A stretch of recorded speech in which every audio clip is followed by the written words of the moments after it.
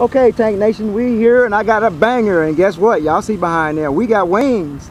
I told y'all we going places. So sir, this is Tank Nation. Tank, Tank Nation, tell us your name and where you're from. My name's Scottie Forn, F-O-R-N. I'm with the uh, Black Duck Aviators uh, out of uh, Milton, Florida. And I am flying the 1940 Stinson uh, Stinson 10. It is a uh, painted up in the Civil Air Patrol colors. When he gets around to the back, you'll see it. And we're here as part of uh, what we're calling the mullet flight, simulating the living history over at Mobile, Alabama battleship with five airplanes. I am number three of the five. Okay, sir, we're gonna follow you, walk us through your plane. It's a beautiful plane, so walk us through it. Uh, this airplane, it's owned by Mr. Bill Lynn out of Milton, Florida. Unfortunately, he couldn't be here today, so I'm his uh, pilot for the day, instructor as well. But as you see, it's an all uh, all fabric airplane. I'll get around here and show you the back with the Civil Air Patrol logo so you can get a good shot of it. Okay. But it's all done out of tube. There's uh, wood runners, ribs, and stringers, and then it's uh, fabric painted up in the true Civil Air Patrol colors that this airplane represented out of 1940.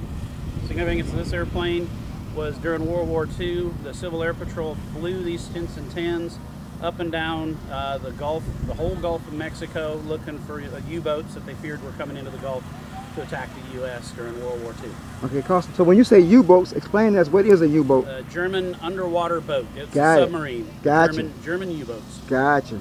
But I'll let you take a peek in here. This airplane's Awesome. been restored quite a few years ago, but it's wow, that's it's uh, got the wood trim. Very nice.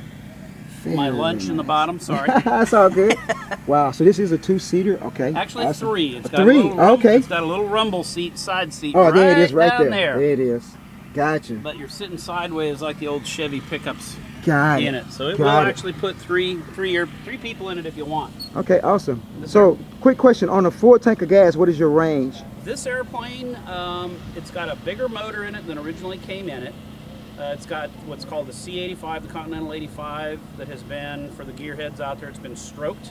So it's a 200 uh, cubic inch, a little over about 100, 110 horsepower.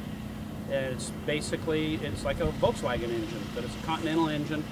Burns about five and a half gallons an hour at cruise, and it's got right at 20 gallons of gas. You got about to empty, you got four hours, but it, you can go three hours if you just three, three and a half, and then of course you want to water and a uh, pit stop for your bladder anyway. So, Okay, awesome. So range also, wise, about 350 miles is a comfortable range of the airplane. okay, awesome. So once again, if our followers want to follow your group, where can they find you? We are really not out on social media Okay. much, but uh, through various organizations, uh, the Battleship Commission here can find us. But Okay. we're uh, the Got it. Blackwater, Got it. the Blackwater, the Ducks. Got it. Okay, so once again, thank you for your time. We thank you for your service. All right, thanks y'all. And y'all be great. Have a great day.